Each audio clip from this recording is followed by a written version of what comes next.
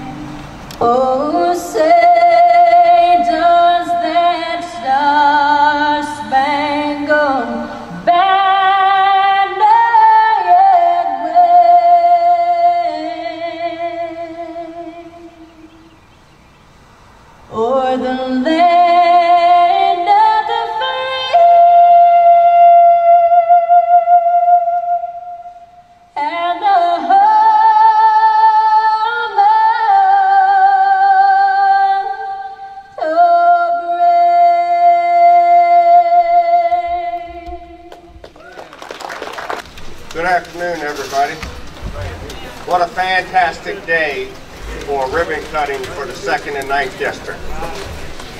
Those that don't know me, my name is Blair Swan. I'm the president of the second district volunteer fire department and rescue squad.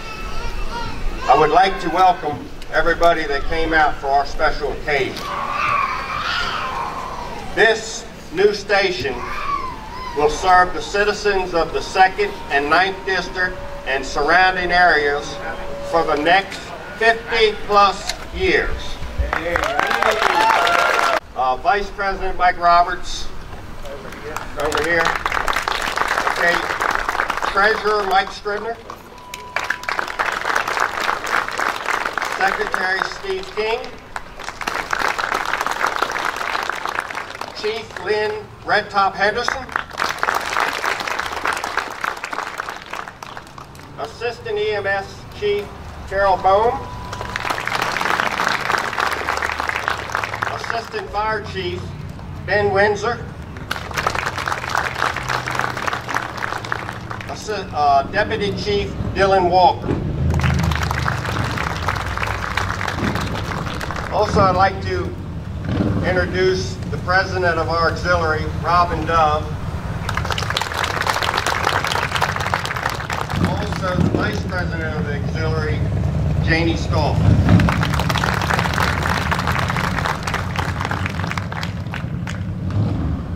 It is with my pleasure to introduce some of the dignitaries of St. Mary's County. Today, we have County Commissioner President Randy Guy, Commissioner Eric Colvin, Commissioner Mike Hewitt, Commissioner Todd Morgan. Thank you all for being here. It is my great privilege to introduce some of the very special key players that made this facility possible. First, I want Great Mills Trading Post President Bubby Knott.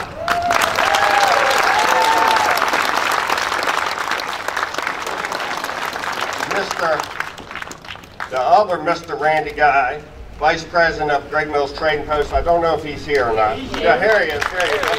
Sorry, Randy. Miss Teresa Del Nino. She's with McGinnis Del Nino Architects. And also Zaire Sorez.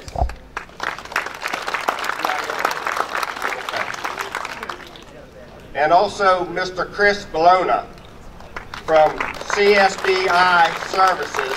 He was our owner's rep. Chris here? Okay, not yet. Okay. Also, I would like to introduce Mr. Ernie Williams in the back, senior lender, and Miss Erin Birch, commercial loan lender of the Community Bank of the Chesapeake. Now it is my best time ever. I want to introduce the building committee. This project would not have been possible without these dedicated fine folks and all of the many, many hours that they put in in this project. Miss Kathy Calder, chairperson.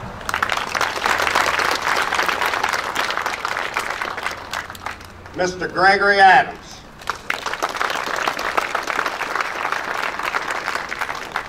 Mr. Danny Brown. Miss Georgia Wheeler. Mr. J.P. Calder. And Miss Stephanie Boyd. And the late Fuzzy Knott.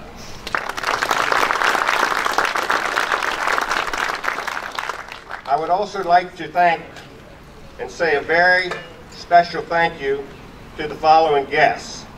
Miss Linda Dean. Mr. and Mrs. Keith and Bernice Fairfax.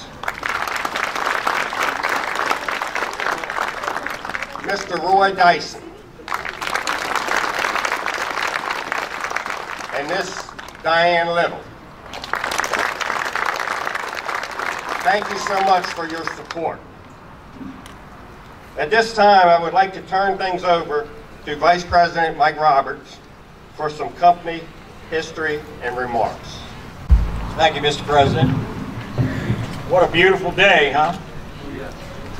Southern Maryland finally pumped in some of that uh, warm spring weather that we're so fond of, instead of it being wintertime like it was last week. What a beautiful day. And also a very exciting day and a proud day for those of us here at the 2nd District Volunteer Fire Department and Rescue Squad.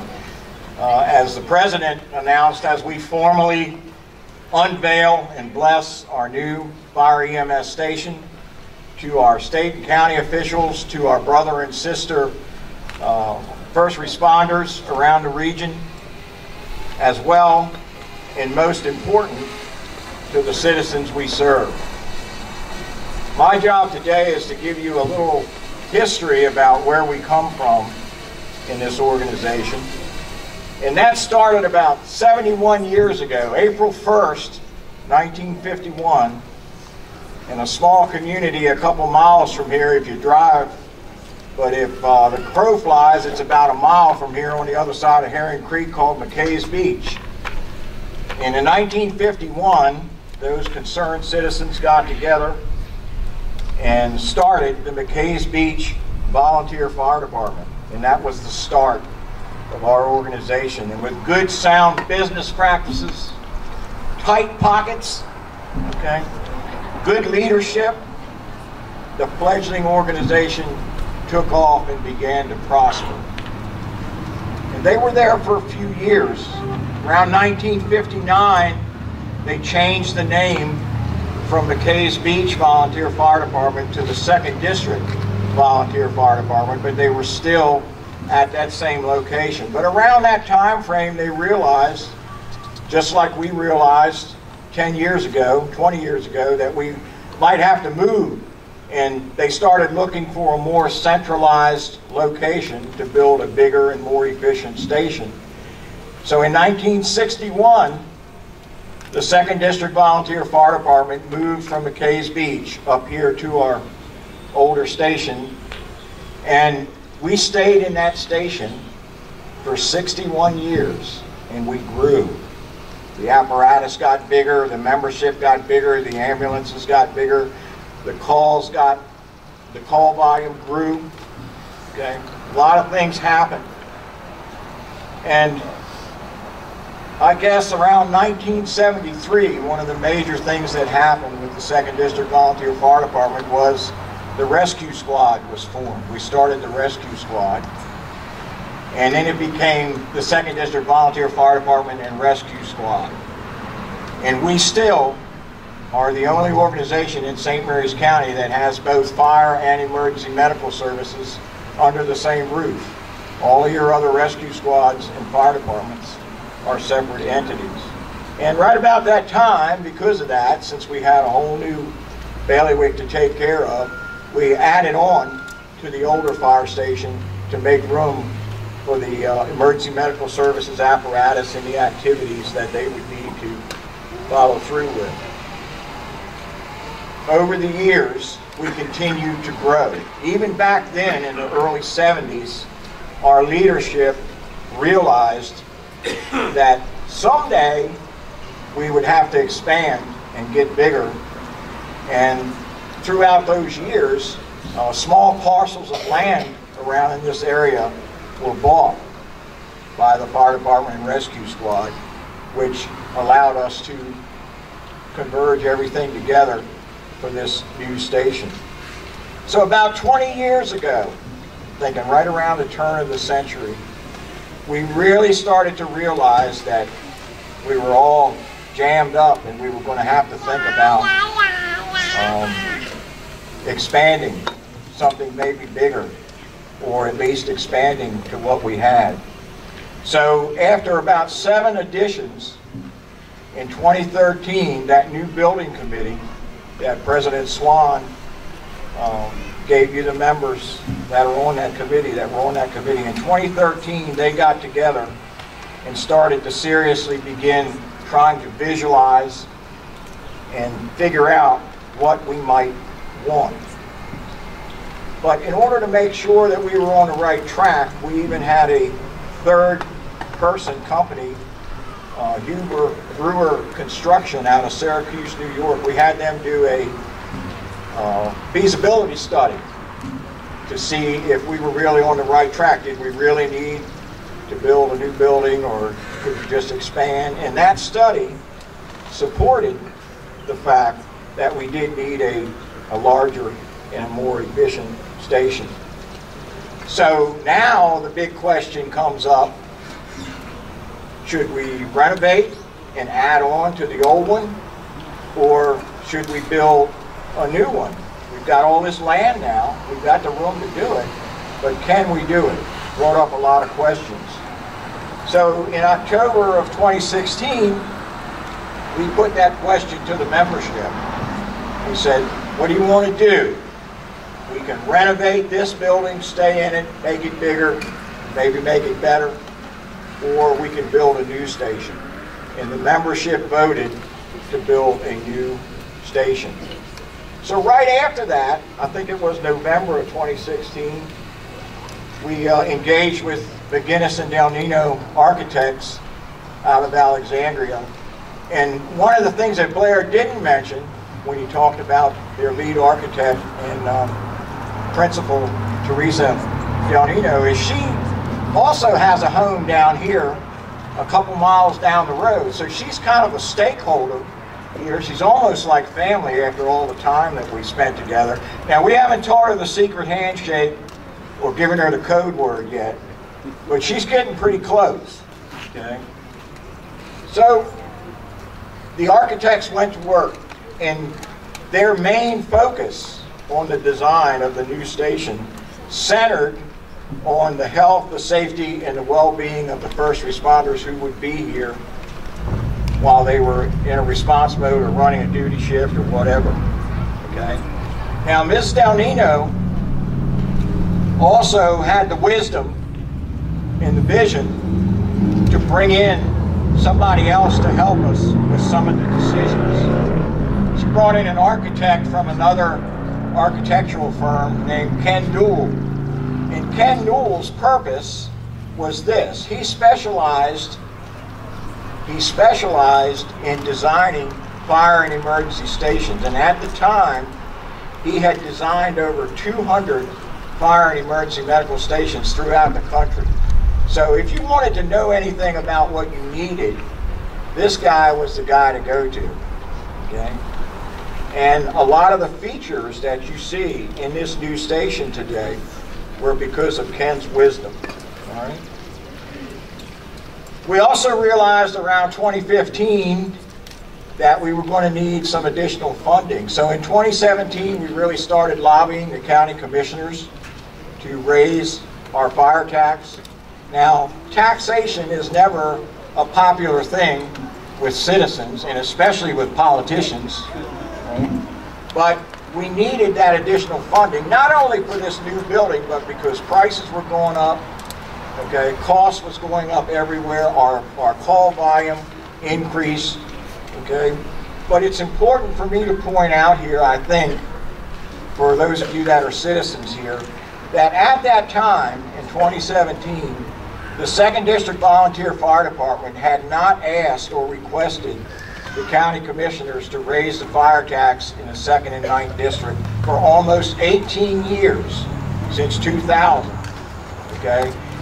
Nor had we ever asked for an increase in the emergency medical services or rescue tax for 13 years or since its inception in 2005. So after many public forums, okay, other meetings, sometimes brawls, no, not really, uh, the county commissioners, and I think it was May of 2018, uh, allowed us to, or brought our fire tax level back up, okay? So we thank the commissioners for their support of that endeavor. Okay, we especially want to thank former county commissioner Tom Jarboe, who was a commissioner then. I don't, is Tom here today? Okay. But he stood by us unwaveringly uh, the whole time and, and gave us that support. So today is the culmination of seven years of planning and hard work, even before the construction began. Research, vision, forecasting, sometimes just plain exhausting work. And it wasn't always easy. You've already heard about Greg Adams being on the uh, building committee, but past president, past chief Greg Adams also headed up the committee to figure out how we were going to finance this endeavor. He and Diane Little, our bookkeeper, and our current treasurer, Mike Scribner, they put the plan together. They worked and put the plan together and presented it to the membership so that we were sure that we would be able to do this and still maintain an operating budget. Okay? We also had that plan scrutinized by some other third-party uh, financial professionals just to make sure we were all on the right page. Okay? And then there's somebody else that we can't forget. The new building fundraising committee was chaired by Dee Dee Johnson. Where's Dee Dee? There you go. And her members were Stephanie Boyd, Kathy Calder, Dan Brown, seems like a, a record, replaying a record, doesn't it? But also Georgia Wheeler from the auxiliary, Darlene Johnson, Jim Rodriguez, and again, the late Buzzy Knott, whose heart and soul was into this, as well as the late Mike Johnson. They all put their heads together and they came up with some innovative projects and some events in order to raise additional funding for the department. And they continue to do that today. Our wonderful auxiliary, our wonderful auxiliary, current President Robin Dove, President Swan already announced, uh, continues to support us throughout the endeavor and raise funding. So now we're down to the, to the final race here. In 2020, we, we selected Great Mills Trading Post as the general contractor. Blair already mentioned Randy Guy, but I'm here to tell you Uh, That was the best company that anybody could work with to try to get a, a project this size done. They were always there to help. Randy was every day, he was the site superintendent, and if you wanted something done, if you needed something, he was the guy to go to. He would get it done for you. So thank you, Randy, for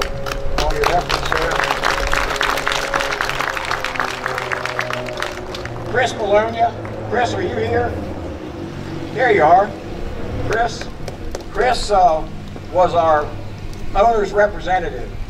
He runs uh, CSBI uh, services, and he was uh, detrimental to helping us out. I mean, none of us knew all of the hoops we'd have to jump through and uh, things we'd have to jump over, but Chris kept us straight, kept everybody else straight pretty much at the same time. So thank you, Chris, for all of your effort.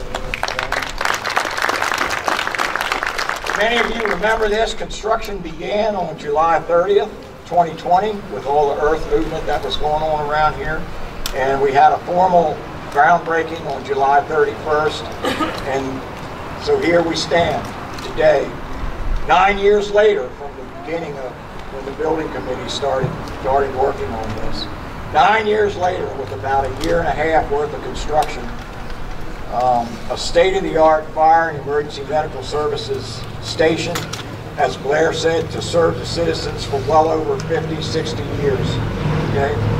All the blood, the sweat, the tears, the yelling, and yeah, a little bit of swearing from time to time. It was all worth it. Thank you, thank you, thank you, everyone who assisted us in any way. Thank you to all of those that supported us, whether it was either financially or just um, emotionally with us. You were with us, you encouraged us. Thank you.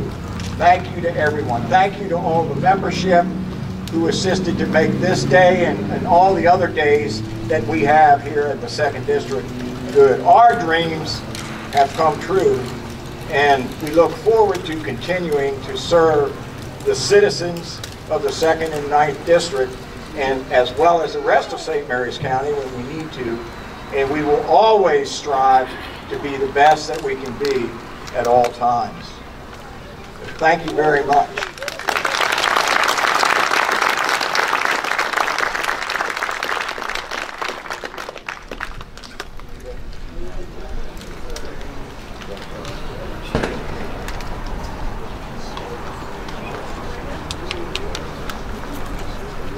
Okay, at this time, I'd like to call up Reverend Joseph S. Statesman of St. Mark UAME Church right here in Valley Lee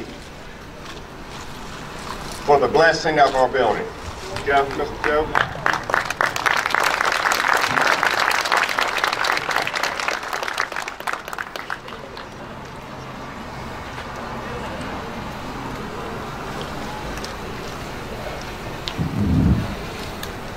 Shall we consecrate our heart as we bow our heads in prayer? O God, our Father, the Creator and the Sustainer of all the heaven and all the earth, we come today with thankful hearts on behalf of the Second District Volunteer Fire Department and Rescue Squad. We thank you, God, for your faithfulness 71 years ago, you saw the need for a volunteer fire department to meet the need of the people in the second and the ninth district of this county. The love for your people in the two districts on April the 1st, 1951, you started this volunteer fire department. In October 1952, you brought about the letter jury to assist the father department. This you did, oh God, for your faithful members who are gone, who gave their time and talent unselfishly. Now they are with you, oh God, up there in heaven. When they left they passed the baton to the next generation to continue on with this good work. This we do say thank you. As time went on, progress continued to grow. The need for a larger building was needed. Through praying and careful planning, in November 1965, the second building of the volunteer fire department was dedicated, which we do say thank you. The second building was used for 57 years. And progress did not stop there, but continued to grow. On this day, on this day, the 24th day of April, 2022, we give you all, oh God, all the thanks for the third building of the second district volunteer fire department and rescue squad. Realize that only through you and you only, oh God, are while we all are here today. No other reason. So as this building is dedicated, we ask special blessing upon these faithful men and women who are now serving. They're willing to accept the responsibility and gladly receive the baton to carry on that which was started 71 years ago by those you used at that time. As these men and women who are serving now go on every call and every ambulance call, we ask you, oh God, to let them feel your presence there with them, that they will know without a doubt that you are with them. Oh God, there, because you promised in your word that you would never leave or forsake us. So we thank you for that great promise, knowing that whatever you promise, you also deliver. So on this day, thank you, thank you, thank you, God. All that you have done and is now doing and will do with this voluntary volunteer fire department and rescue squad in the future to come. We ask that your blessings will continue to grow upon this department many, many years to follow. This we do ask in the immaculate name of Jesus Christ, our Savior, our Lord, and our Redeemer. Amen. Amen. And amen.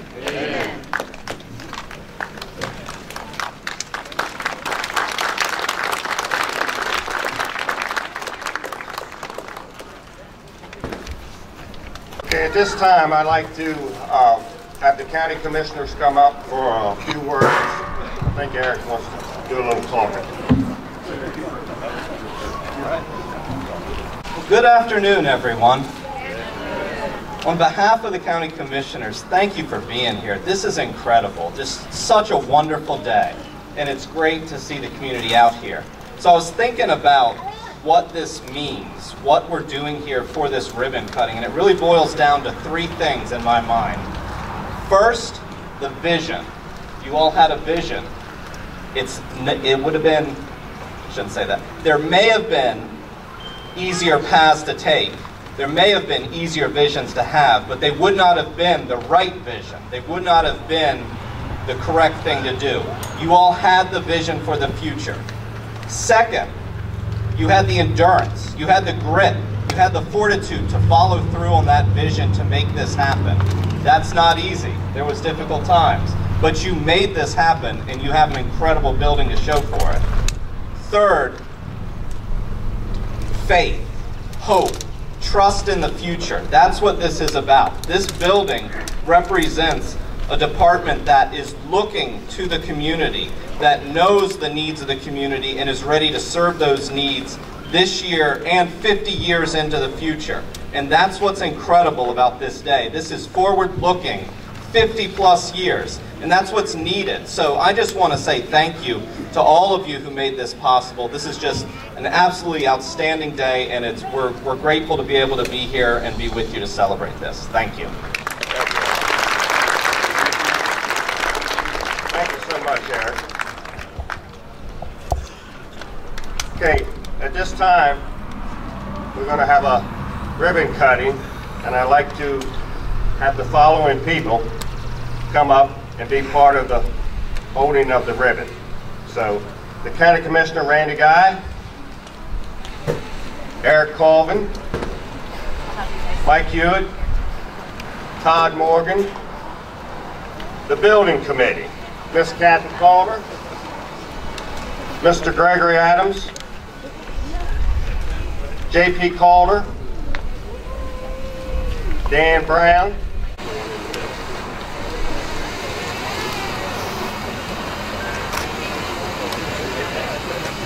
Almost forgot, don't hurt, please. Everyone in the back row, step forward.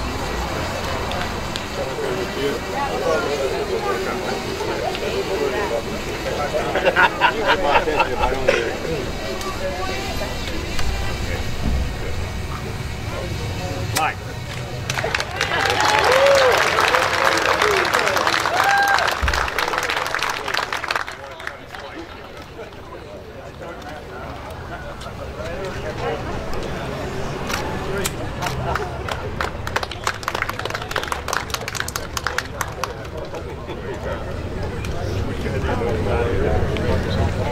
Continuing support for our department.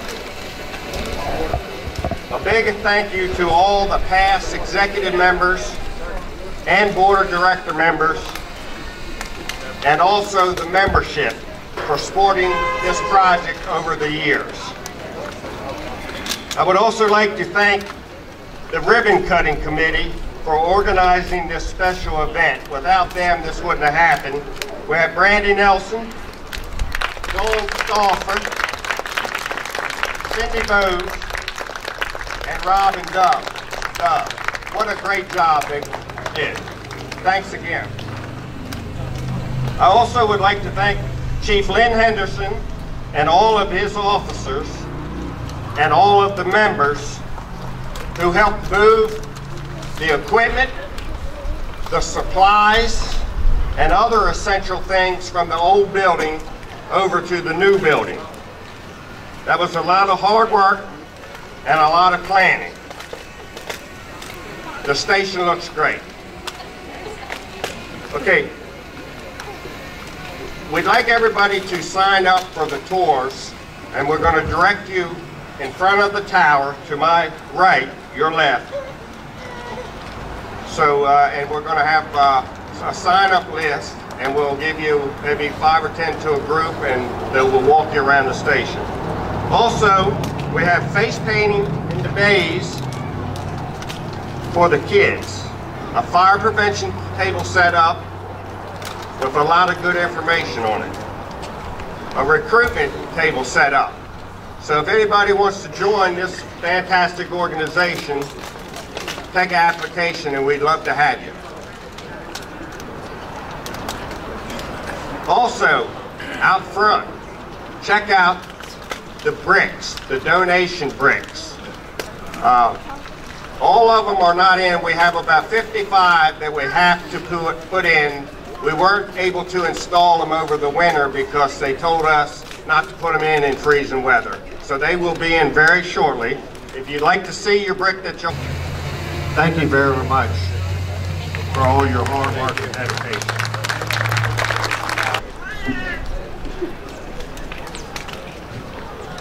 And take a look at all the apparatus and equipment out in front that protects the second and ninth district and surrounding areas. Make sure you support the food trucks. We have food trucks over to my right. Uh, get your Sunday dinner. You know, don't, don't go home and cook now. Get your Sunday dinner from the food trucks. And we also have refreshments inside. We have a cake table, a cookie table. I would also like to thank Harry Lundeberg School of Seamanship for, for, for providing us the desserts. Once again, thank you all for coming and spending our day with us on this very special occasion. Thank you.